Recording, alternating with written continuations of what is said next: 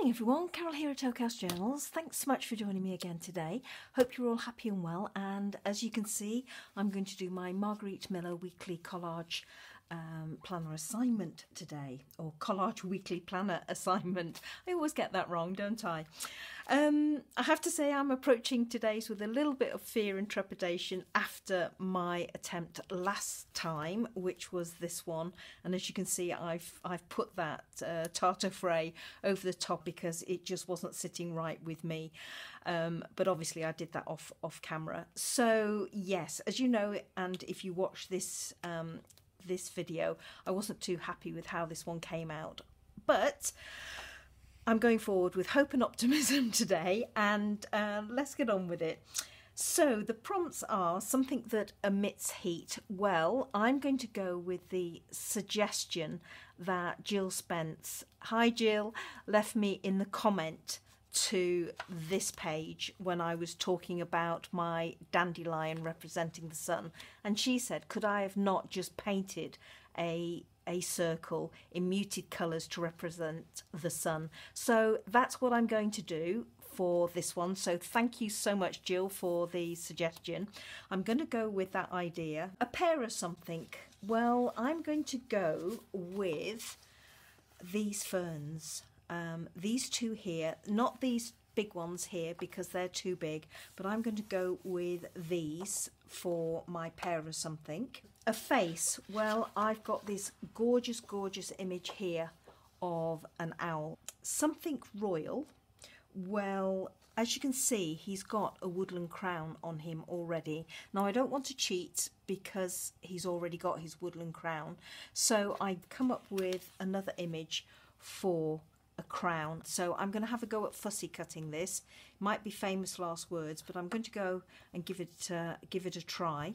So I'm going to be using that for my something royal. Something green, I've got this sheet of Tim Holtz paper and I particularly love it because of the shade of green and also the distressing it's got round the edges so I'm going to be use, using that for my something green and bonus, text other than English or your native language. Well, I could use the background as always, but what I thought I would do would be to use some of this gorgeous vintage ledger paper that I've got. Now this is German and as you can see dates back to 1912. So I'm going to be using some of that as part of my background.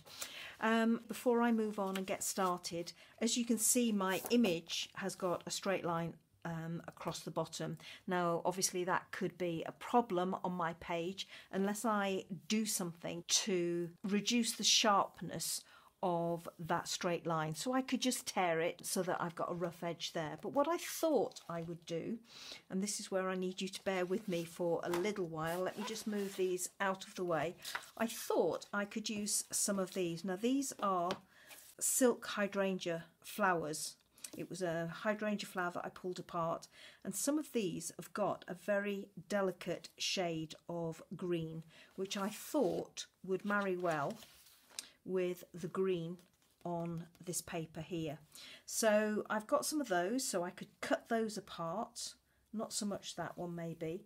Um, they do have a slight hint of soft purple in them which I thought might gently tie in with the owl's feathers, not so much that one. So I could use those and ferret around and pick out the best ones. Or I also have off to one side here, got a little stray there. These are some dried flowers that I've done. Now, as you can see here, I've got some re real hydrangea flowers. Now, these are a little bit delicate. So I could use those and they're green. Um, now I could mix and match them in together and do that um, along the bottom because I'm kind of thinking of a woodland theme with my fern as you can see and my flowers. Or I could use let's pop that to one side.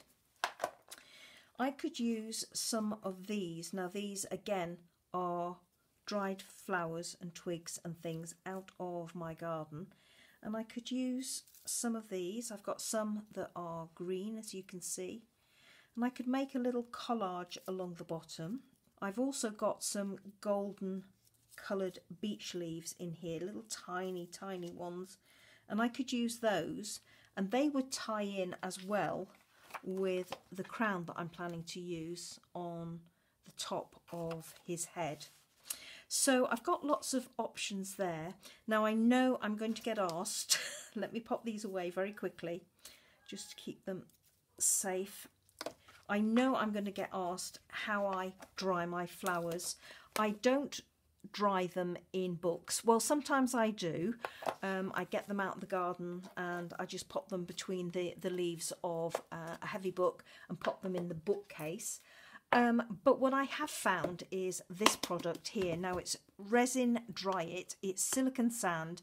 I warn you now, if you're thinking about using this, it is brilliant and it is now my absolute go-to because it never fails or I've not found it failing at all and it's super, super quick.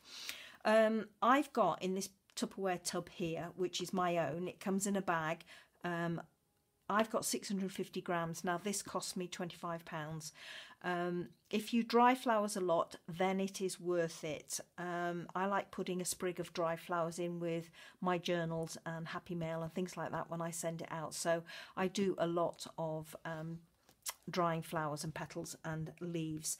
Um, it is fabulous stuff. You can reuse it. Um, as I say, it's silicon sand. It's not silica um, granules. I got this off Amazon, but I will put the information that's on the label there. I'm hoping that you can pick that up. Um, if you can't read it, I'll put the um, information in the description box below the video. And very quickly, let me show you. I'm being careful because this tub is pretty full, so I'm just going to give it a shake. You'll see how fine it is. And this is what it looks like. It just looks like sugar.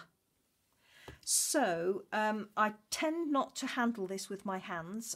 Um, you can handle it and wash your hands afterwards. I do tend to lift them out very carefully with some tweezers or pour it out gently onto some paper, remove the flowers and then pour the, um, the silica sand back into my tub.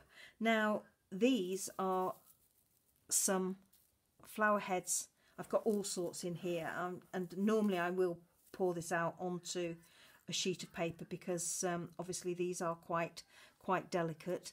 They're not brittle, they go, you know, they're not too brittle I should say um, and they are beautiful. Well, These have been in here since last summer, literally, and they're as good as when I put them in here. Now you can ferret around like I'm doing and dig out your flower heads. That one's broken unfortunately. Um, and I just store it off to one side in my craft room with the flowers intact ready for when I want to use them. Now these I will just put in one of these little plastic tubs um, and keep them safe or you can just leave them as I say in the tub like that. So if you're interested that's what I use for drying my flowers and leaves and petals, etc. Um, not the cheapest, but it gives perfect results and sorry, I forgot to tell you, this is super, super quick. I have tried the ironing method where you take your um, flower or whatever, your leaf, put it between uh, two absorbent surfaces and iron, and that works pretty well, but I found the colour doesn't stay. Um, but this, you can do it literally within 24 hours, and as you saw here, you can leave them in there until you're ready to use them. Okay, so I'm going to move on now and I'm going to get started on my assignment. Okay, so the first thing I want to do is get my background sorted. So what I'm going to do is I'm just going to very roughly cut this massive piece of ledger paper down to size. Now I'd like to catch that piece across the top. I don't want this piece. I will just riff it riff it just rip it roughly down here picking up this this text um, I'm not bothered about the numbers and I'm not too bothered about down the side here, but I would like obviously to get the text in so that it hits the bonus prompt. So let me just uh, quickly just trim across the top there.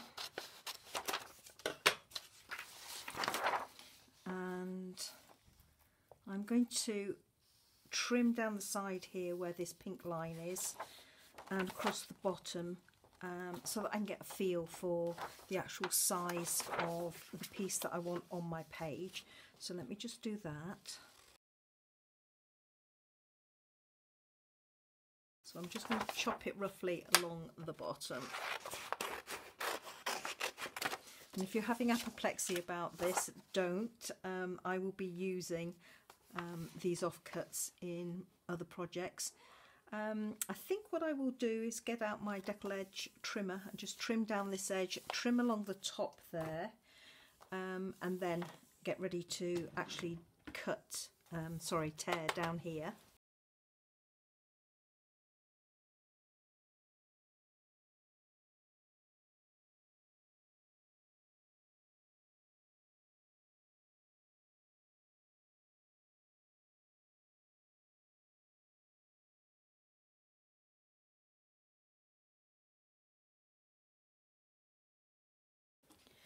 I need to set to now and do a little bit of fussy cutting. So I'm going to fussy cut the crown.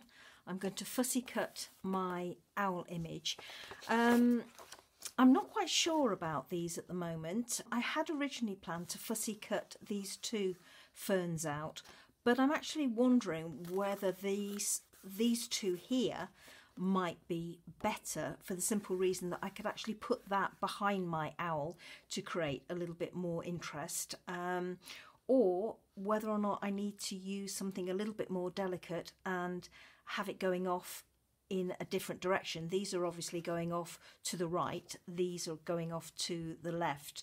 Um, now I know there's three ferns here, but I could actually just take away this bottom one here if I wanted to or equally the the top one so I can play with those so I'm not sure which ones of these I'm going to use at the moment so I think what I will do is I'll just get my configuration sorted with the owl and see how that looks and also create my sun before I come back and uh, have another look at these. So I'm going to get on with the fussy cutting now.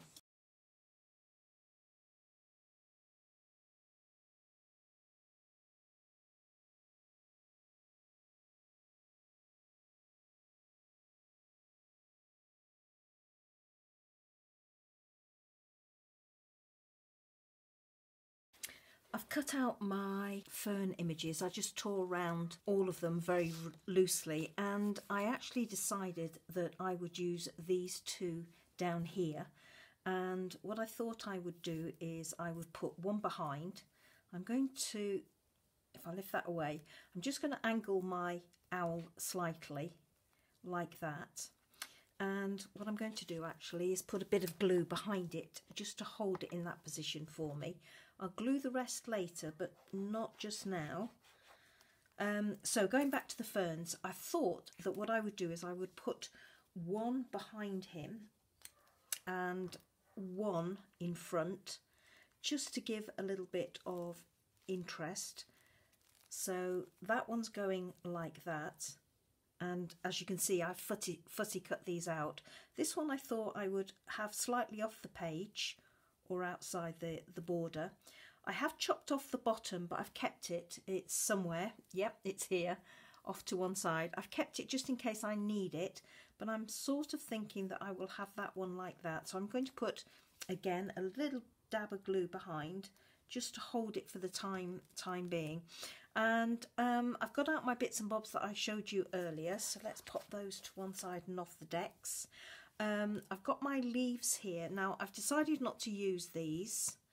Uh, what I have lifted out, as you can see here, are some of the coppery tone leaves, which I'm hoping will pick up the crown in due course. Um, in amongst my dried leaves here, I did have this leaf, and I was wondering whether I could have it down here with that going over the top of it, like that. Um, and then again, I also got out these. Now these are the ones that I lifted out of the silica sand. And these two are ones that I did ooh, a wee while ago. And I thought perhaps I could use one of these. Now these are all the right colours for on there and I'm really liking how that one looks. Um, I also lifted out the green silk hydrangea flowers and I was wondering whether to put one of these on here. Now I'm actually liking this one because as I said before it's kind of picking up the darker tones off the owl's feathers. My only dilemma with using this one, apart from the fact that it won't lie flat, um, is that I need to find something for in the centre of it if I use it.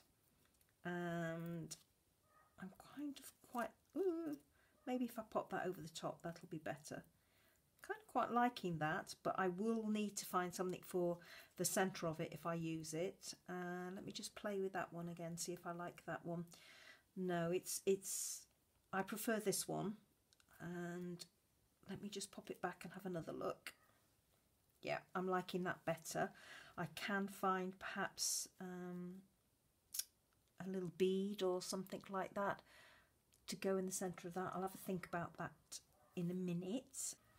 Pop that one away because I'm not going to use that. Pop the lid on those. I'm trying to take away what I definitely know I'm not going to use. I am liking this one, that leaf there, and it's flat and not too brittle, so it's going to be absolutely fine for on here. So, so I'm going with that. I'm trying to be decisive this week, so I'm just going to flatten this one out a little bit. I might be able to snip it so that it's less of a flower shape and more leaves, overlapping leaves. I need, so I know I'm going to use this. So what I'm going to do is I'm going to put a little bit of glue behind it to secure it in place. Not too much because I want some movement at the edges of my leaf. And I'm just going to try and slide it underneath that stem of the fern and angle it slightly in there like so. And let's get this one back on there I think I might try snipping these and see what it looks like and I've got my wrong scissors here. I need my ribbon snip scissors. These Stampin' Up ones are great for fussy cutting because they've got a lovely point to them. I have another pair here with a bit of green on them, uh, green ribbon, and this these are very sharp and I keep them to one side and use them as my ribbon snips only for cutting ribbon and lace, not paper. So I might regret doing this, but it's not a problem if I do because as you saw I've got plenty of those to play with. Um, plenty of those being the flowers or the flower heads. So I'm thinking if I could just, I could overlap them like that. I still get the same sort of impression. Um, but it just looks like it's there's a little bit more interest yeah, I'm quite liking that and I'll snip this bit off the bottom there.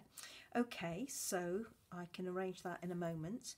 Now with these, these are beech leaves, tiny little beech leaves from out of the garden. And I was kind of wanting to play with those. That's a little bit big, that one. Um, the reason I've chosen these, as I think I've mentioned before, is I actually like, that one's too big, um, I like the colour, the goldeny colour. It's picking up the tones in the stem, it's picking up the owl's eyes and it will pick up the crown when that's dry. It's still off to one side drying. Um, that's a lovely one. It's got hints of green in it. So I'm just thinking I might kind of see if I can do a little leaf collage down in this bottom bottom corner um, just to break up this, this line across there not quite sure what I'm doing, but let's see what I can do.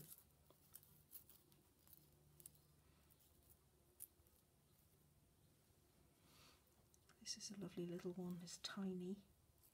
I might just snip that one in there for some interest. Could actually move it up. I'm actually thinking something like that. Um, might have a little bit more of a play with this one off camera, this little area here. But yeah, it's all going quite quite nicely. So I'm going to have a little bit of play with that. I'm going to glue this one down. I'm not going to use this piece after all, I don't think. And I'll be back in one second. Okay, so this is how my page looks now. Um, I've laid up those silk petals, a few behind, and um, I put in a couple of the brown beech leaves. Um, didn't like them too much, so I've broken them off so there's only little tiny portions sticking out, but just enough to give me the pop of colour that I wanted. Um, you can probably see this bit of a gluey mess down here. Well, I actually layered up some of the beech leaves over in that corner as I thought I would. And then when I came to put the crown on, it just didn't look right at all. Um, so I pulled them off. I have an idea of what I'm going to do there. So I've lifted out a Tim Holtz label and this is a pale green and it's almost like um, a faux ledger paper. So I'm going to use that. And then I had this label in amongst my stash. Just says Greenlaw 1842 now that was too big to use so I've cut it in half. And what I'm going to do is I'm going to pop that down here like so overlap it slightly to make it smaller.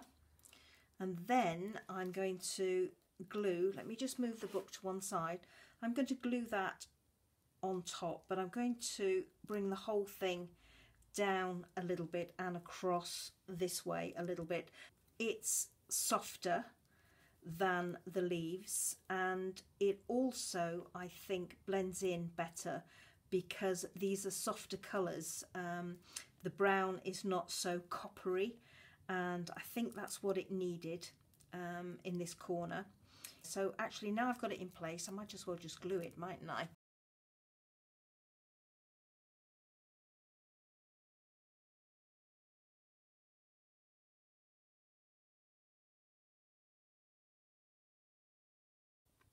just going to stagger this one slightly, I think. I think that looks better rather than having it slap bang in the centre. I'm just going to do that like that. Um, okay, so that's my label. So this is how the crown looks now. Um, I'm pleased with how it's come out with the glossy accents, certainly over the branches, and as you can see, they're quite um, quite firm now, which is good. Um, I wasn't happy with the glossy accents all over this portion. It um, it just looked too much.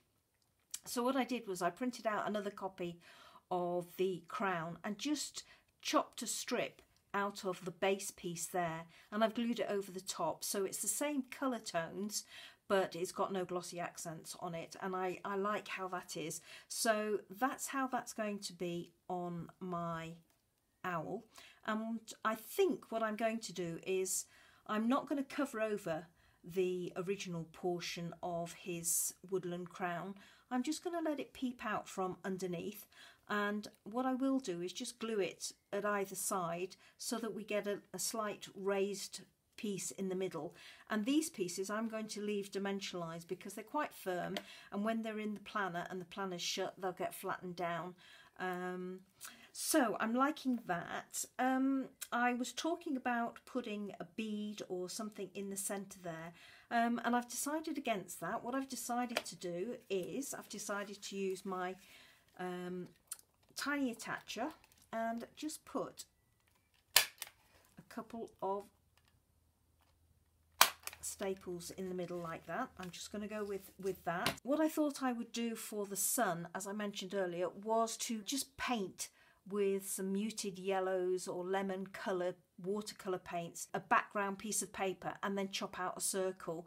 Well, um, I actually had a better idea. My lovely friend Jeff in Las Vegas, hi Jeff, sent me some of his beautiful, beautiful background papers that he's created a while back. And as you can see, there's some lovely tones of yellow in here in these fabulous ones that he's created for me.